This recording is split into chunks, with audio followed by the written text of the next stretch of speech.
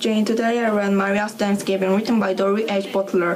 Thanksgiving was Maria's favorite holiday. Her whole family came to visit. After dinner, they talked, watched the football, and played the game.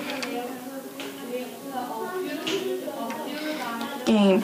Uh, but this uh, this Thanksgiving there was a snowstorm. No, can, no nobody could come could come. Her fa- Maria's family went outside. They saw uh, they saw some of their neighbors.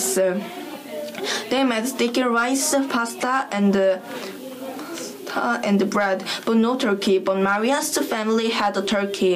Please come to our family for Thanksgiving dinner. We have a turkey.